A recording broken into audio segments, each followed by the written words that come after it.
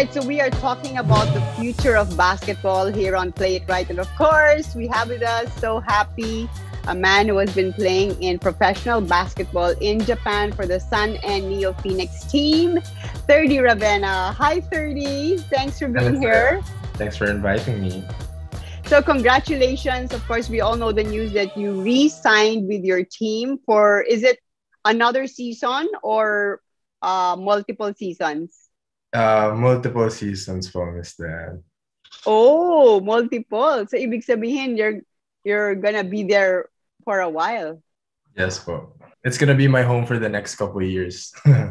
Mm. Well, I guess that means masaya ka dyan, diba, sa team mo. Yeah. Can you give us, like, ano yung mga naging factors that made you decide to renew, not just for one season, but actually for a couple of years of your life?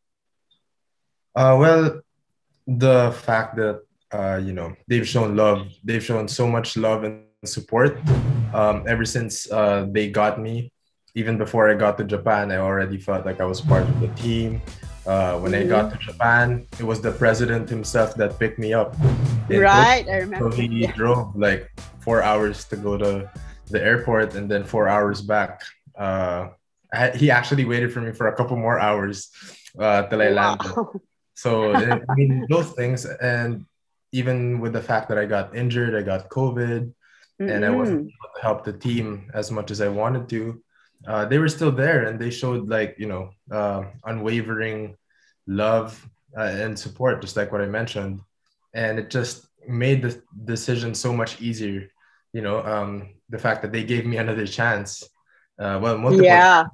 actually to be able to help the team uh, for me it was uh, an easy decision to to be here and Yeah. Japan's a great country you still get to go around no matter where you are because everything's so accessible so Mm. uh, it was a th- uh, those are the things that made me you know uh, make the decision to stay with the team Yeah, naisip ko nga with everything that happened to you, 'di ba? Uh, Yes. well, nagka-COVID ka nga. It took, first of all, it took you so long to get there. You got COVID. First, you had to quarantine. Of course, the first time, was it 14 when you initially arrived, arrived or 10 or 7? 14, 14 days Yeah, so- 14 and then COVID, another 14, broke your finger, injured your, you know, injured your your knee. So I was actually wondering, ano kaya what how how are they going to see Thirdy now, yung team management? Pero I guess they really love you, no? 'Di ba? So tuloy-tuloy yung ano, you you really felt all the support throughout all your challenges in your first professional year. Yes, yes, Miss Dan. And talagang naswertehan din lang po na um, I guess they saw something in me that, you know, they trusted me and they really believed in what I could do. So uh, very grateful. Yeah. So I guess you know the other day I heard you were in the gym until 10 p.m. So that means that your fire is like all the more there para to do better when you come back for next season since you've committed for the next couple of years. Yes, definitely. All the motivation is there to stay healthy and be as uh, prepared as uh, I can be. So, you know, uh, I get to be, I get to help the team uh, the most in the best way that I can and play the most games that I can uh, for the next season to be able to really show love and show how much I care and value the trust that the team has given me. So, Yeah.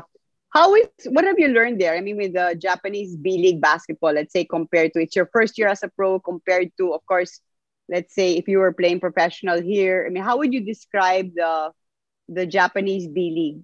Well, um, I wouldn't be able to compare uh, because I, I, I wasn't able to play in the PBA. but uh, I think compared to Philippine basketball, it's really, you know, it has such a toll on your body just because of the fact that uh, the eliminations have like 60 games uh, Ah, in a span of 60, no? 60, yes, ang dami from palang October- game. From October to May, uh, you have Yeah. 60 games. So sometimes it's going to be three games a week. Well, most of the time it's three games a week. Sometimes there's five games in eight days, and they're all away. So you have to travel within those um, eight days and get to practice for like a, co- uh, one hour in between uh, max. And yeah, I mean, just the challenge that it has on you physically, I think it, uh, that's the biggest difference uh, from the Philippine basketball setting and how it's done. Yeah. Um, but Talagang you're pushed, no? You're super pushed physically and even Yeah. mentally because you're having to adjust to to different like places, venues, and all that. A lot of moving, no?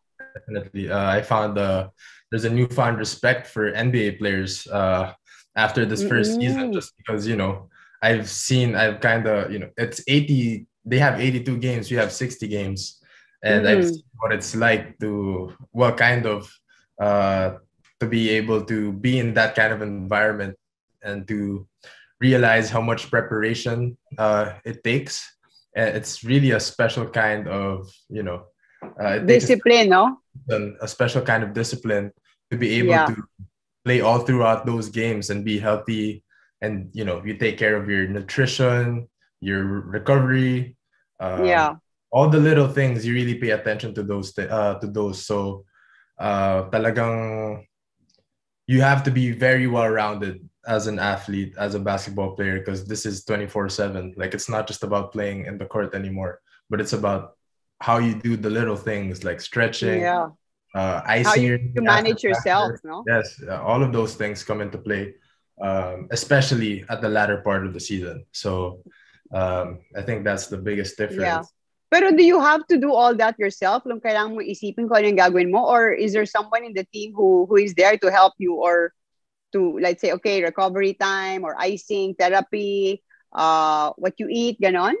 Uh, Or- well, in nutrition we don't have, and uh, the icing it's really on you. Like we have uh, an ice machine, um, ice machine um, in the gym. Uh, if you want to ice yourself, we have uh, a PT and a trainer. If you want to work out, if you want to um, get the massage, but it's you know pretty much entirely up to you when it, Yeah. especially season. Uh, if you want to do those things or you want to rest and we have an oxygen uh, chamber um, Mm, gym as well. So recovery, nice. yeah, no, you have to be disciplined. because um, yeah, I mean, I, I learned that from the very start of the season because um, it's it's really hard. I mean, I thought I was in good shape when I went to Japan when the and when the game started and it became like three games in one week and I was like, wow, I can't even rest and there's practice in between. Oh, talaga? So you Yeah. felt like you needed to get in better shape because I thought you were already in like super fit na. I thought I thought I was too. So uh, it was a challenge, but you know, um, it's part of the process. Now that I've seen uh, what it takes, and I, I know what it takes to be able to prepare at this level, uh, I'll be more prepared definitely uh, the next coming season. Nice. So would you say that you were actually you're physically stronger? I mean, minus the the injured the injuries that you have, like overall. Uh, right now, no. Uh, I'm still in the process of rehabbing my knees and being uh, and making sure that I'm 100% by the time I leave Japan. So I think nandun po muna sa uh, trying to get uh, trying to bulletproof my body basically for what's to come in the off season because I know that uh, the off season is going to be the hardest uh, part. Uh, well, it's the most enjoyable part for me as well because I get to stay in the gym and not worry about playing games or not worrying or not worry about who we're gonna play. Um, it's all about just grinding, you know, just working uh, on yourself and being better every single day, and that's what you focus on. Yeah. So, um, right now, I'm just making sure that my body's gonna be physically ready to handle the toll of all of the hours that I'm gonna put in. So, I think that's the most important part. Yeah. Speaking of timetable off season, uh, your coming back to the Philippines? Babalik ka muna dito. Ano yung schedule mo between now and October? Uh, from I think I'm gonna leave around the end of May. Um, go back, uh, quarantine for 10 days at the hotel, tapos uh, see my family. And I'm not so sure yet. Um, excuse me, there's a window, there's a national team window in June, and there's another window in August. So I'm pretty sure I'm not uh, I'm not gonna join the June window, but I'm not so sure if they would invite me to the August window. Ah, So- talaga? Uh, uh, it's still up to Mm. you know I'm I have no clue. Uh, I honestly have no clue right now when I'm gonna be back in Japan. Um, supposedly by the end of June, but um, if the national team is there, uh, plans might change. Um, but right now, all I'm worried about, I mean, all that matters to me is being in the company of my loved ones and seeing my family, my friends, and just being in the house. Yeah, how long has it been? How long has it been? One year na ba? No, uh, I think I left October 15th. Uh, for Oh, yeah, yeah. a couple, um, couple of months. And then, but it's, you know, uh, I've never stayed away. Mm. I've never left.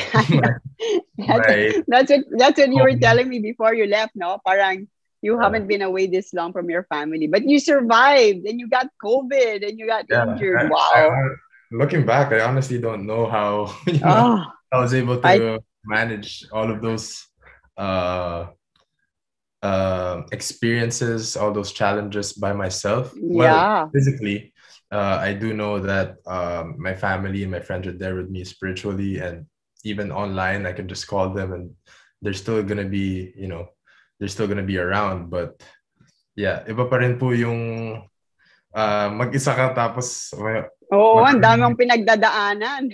yeah, but uh, So how often did you call them during all those times? Madalas kang tumawag sa kanila. yeah, Who were you talking to the most? My mom. Your dad? Ah, My your mom. mom. Yeah. My mom, I mean, I call her pretty much every day. So Oh, weird. that's sweet. just talk about random stuff, but gotta be my mom. That's good. Yeah. Well, that's also good to hear that uh, you're open to playing for the Gilas team, no? So uh, I think August, right? I think they have a there's a window in August, no? If ever. In Serbia. Yeah. Yeah.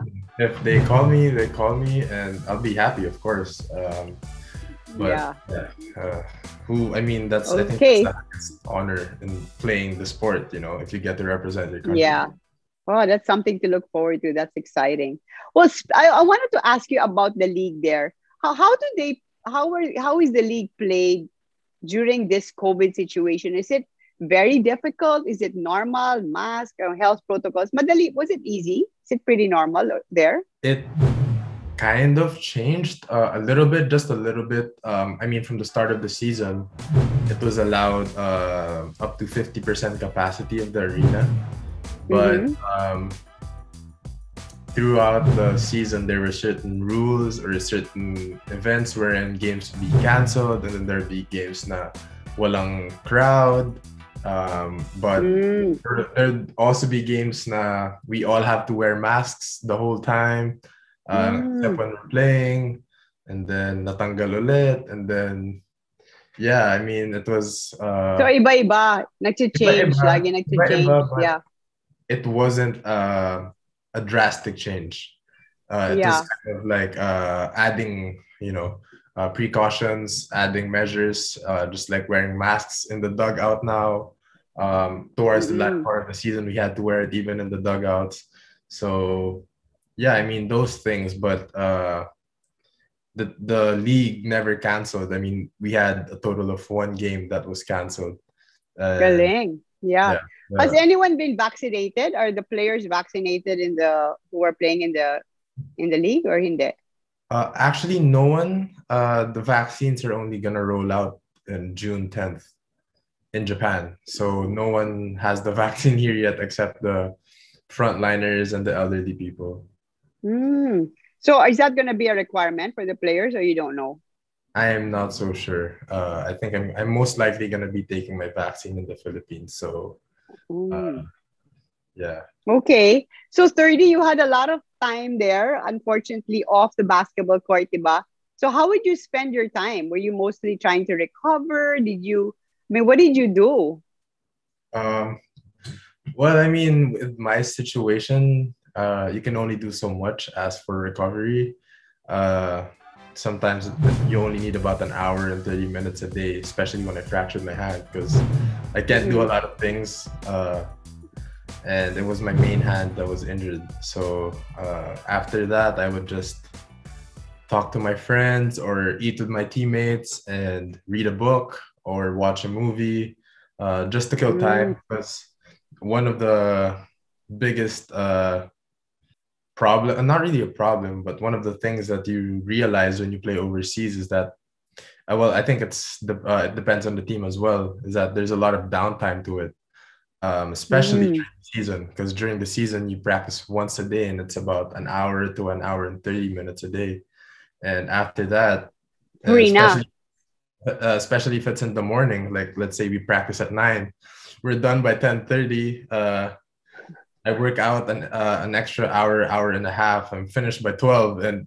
I'm basically done for the rest of the day. So you know, uh, mm. you just kind of find ways on how you could, uh, well, kill time, but also you know try to be productive as well. Uh, I tried to read books, but it was I, yeah I uh, that much. So did you ever have a issue with your mental well-being? Did you ever feel down? And what did I mean? What did you do to be able to help you mentally, especially with all the things that you went through? Just try to keep yourself busy, talk to people. What yeah, really helped you the that's most? a really, really good question uh, that you brought it up, Miss Dyan, because uh, I never, I wasn't as big uh, about uh, mental health. I mean, I see it everywhere, but I always thought that I was a strong. Yes, uh, exempted. I would be able to handle all of the pressure because I mm-hmm. I figured that I you know grew up under pressure basically uh, with the pressure of my dad being a pro player and my brother being a phenom ever since he was young so mm-hmm. i was kind of introduced to that kind of pressure uh, from when I was young. Uh, but when I, you know, experienced all of those things, uh, being injured, uh, being having COVID, and being, yeah, and experiencing all of those things alone um, in a yeah. place where you know you don't know anyone outside of your team.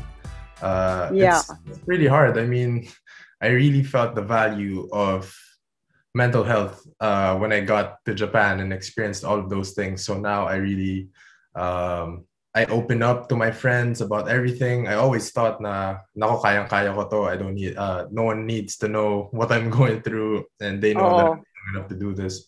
But ngayon parang uh, I'm very open, especially with my friends. Yung mga hardships ko, sometimes I kind of I almost break down and I'm I just call my friends. I'm like, oh, sobrang hirap na. Uh, mm. uh, yeah. Well, that's good that you were that hindi ka, you know, nahiya, you know, to do it. Yeah. Kasi lalo na, if, especially you you consider yourself a strong person. I yeah, yeah that's good. So and ano it, naman mga it helped you to open up. Yeah, and it actually, which is a funny thing because also my teammates felt had the same sentiment about it um, especially going through a season. You know, um, we would play seven, eight guys sometimes, uh, the whole mm-hmm. game, and it would be we would lose like seven or eight times straight. Yeah, and then yeah. it would just be you know crazy, especially for you know someone like me who hasn't lost used to winning i haven't lost in two years before i went to japan and then wow we lost 47 times so you know um, the effect on it uh, it can have an effect on you. Um, but, yeah. you know, uh, being able to have a group of people who you could feel uh, who you have you know the same experience uh, experiences with the same struggles with uh, really helps mm. Uh, especially if you get to talk to each other about it and be very open about it.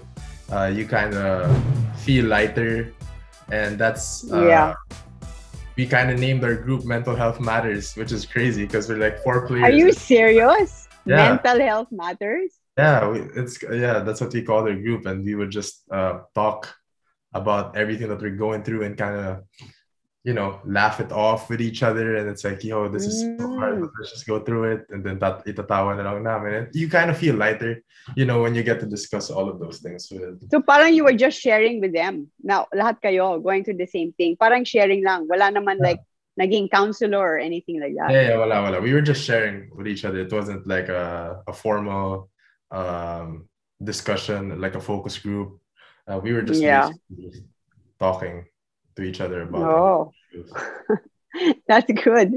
Um, I'm, I'm glad to hear that you acknowledged it and you were able to find a way to deal with it. So yeah, I, I would, you know, madalas kitang isipin kasi saying, oh my gosh, lahat ng pinagdadaanan ni Thirdy and then ang daming talo yung team, hindi pa nakakapaglaro. I was Yeah. sometimes I would wonder kung kumusta ka na. And I know you to be a strong person, but yes, you're right. It, uh, no one is exempt from from feeling the effects of challenges. But Yeah. I believe you're gonna come out of it stronger. You're, you or you're coming out of it stronger, diba? Yeah. uh, hopefully and i also like to believe that i'm growing um, in the process of all of the of going through all of the challenges Yeah. Thirdy you you tell us about the you wrote a letter to the PBA about the the Dodger rule. Can you can you tell us about it and what did you get any response? Uh, well i'm not so sure if i can disclose the letter but i think it's up to the pba if they want to you know reveal it because i'm just uh, kumbaga nagpasintabi lang rin ako na i'm gonna go to japan na i'm gonna play here for uh, the next couple of years and i just hope that they're uh, they're there to continue their support uh, for me in representing the uh, not just myself but the country and making the Philippine basketball community proud. So it's it's just a short letter. It's not it's nothing um, elaborate. It's basically Yeah. just those things. Nagpaalam ka lang. Then to hopefully keep the door open for you. yeah, and you know uh, I'm just doing this to represent the country as well. So I'm just hoping Yeah. for that support. I respect the league. Uh, you know, my brother's there, my dad's there, and I also, you know, I've been I grew up watching the PBA as well, so uh, just needed Yeah. to pay my respects. Yeah. Thirdy, anong payo mo sa mga ibang Pinoy basketball players who who may want to follow in your footsteps to, you know, to play in the Japan Professional League? What advice would you give them? Just chase your dream, whatever you feel uh, inside you, whether you want to play in the Philippines or somewhere else. Just trust your gut and you know bet on yourself. That's the best bet you can ever uh, give. So um, yeah, I always like to tell myself uh, if I if I'm betting on myself, then I'll definitely double down. Like I wouldn't uh, doubt uh, what I can do. I, I know that I'm gonna work. Uh, I'm gonna do whatever it takes, and I'm gonna work my hardest. Kaya kahit na uh, hindi man ako mag-succeed, I can tell myself at the end of the day that I did my part and I did uh, and I regret nothing. And I chased Yeah. so I mean that's I think that's the most important thing at the end of the day. You could be uh, somewhere where you're very successful, but in your mind, you know, you're uh, you actually had the dream to play somewhere else, but um, it might happen, but you don't want to regret anything at the end of the day. So uh, you know, For sure. trust, Better trust to have tried. Better to have tried and failed. I'm not saying you're gonna fail. Better to have tried and failed than to not have tried at all. Yeah? I We respect you for that. Yeah. Hey, Thirdy, you recent you reached out to our Olympic bound boxer Eumir Marcial to help him with Mhm. his preparation. Ano yung in-offer mong suporta para sa kanya? Uh, well, uh, first of all, I didn't uh, really want to uh, make it a big deal. Like for myself, nagulat niya ako na he posted because uh, I just reached out to him to be able to, you know, find a way to support as a fellow athlete, uh, kahit maliit lang. Mm, And he said like he doesn't really need monetary stuff, but just the supplements, all of those things. And I was like, Mhm. yeah, sure, I can provide those. I can get you uh, what you need if you're in the city in Manila. So yeah, we just talked about it like that, and you know, as a fellow athlete, you just want to make sure na uh, makatulong ka um, to those who may need your help. Kasi, you know, you, I've been blessed uh, even though I've been going through a lot of things and I feel like kailangan mapasa mo yung uh, blessings mo sa iba because those are the most important things. And what you that is so nice. others. So, nice. Uh, I'm I- sure he appreciates it. Yeah. So uh, supplements, you're gonna you're gonna give him some supplements. yeah, supplements, uh, primarily like protein and this the the vitamins that he takes. Uh, we yeah, he sent me like pictures, so just those things. Very simple. Not really uh, Oh, what sweet. people might think. Nah, uh, it's like a grand uh, something, but it's not. So just No, simple- malaking tulong yon. Supplements, kailangan ng mga athletes yon. okay, Thirdy, before I let you go, uh, what would you like to tell your fans, all the people who follow you? I know you're always, you know, posting about how overwhelmed you are with all the support that you're getting, not just from here, by the way, you're also a star na in Japan. You have so many interviews there, di ba? no, no, no. Um, Sikat ka na, super sikat ka na dyan, right? oh, You speak, no, speak Japanese na? I am gonna start my lessons very soon You have to. You're gonna Yeah. be there. yeah, I figured I, I thought I was gonna be here for a year, so I was like, it might be, you know, uh, harder for me to study Japan, uh, Nihongo, and then just leave, uh, not finishing it. So ngayon, I really have to finish and study hard because I'm gonna be here for a long time. So O yeah, sige, message na lang sa fans mo for the Philippines and then, well, if you want to attempt to say something in Japanese, but no, I wouldn't even uh, Okay, do that to myself. I'm gonna say Okay. that I'm more confident, but uh, to all of the supporters, maraming salamat po sa lahat ng pagmamahal, uh, suporta na binigay niyo, not just for me, pero sa team din, sa Sana New Phoenix, and uh, sana pagpatuloy niyo lang po yung suporta niyo, and I'll keep working hard para ma mapakita ko sa Japan at sa buong mundo kung ano yung kakayahan ng mga Pili- Pilipino. And yun, uh, I'm just here uh, and I appreciate every single one of you guys, uh, especially the ones na nagme-message pa. Uh, maraming salamat uh, from the bottom of my heart and I hope everyone stays safe and thanks for having me, Miss Dan, and everyone here.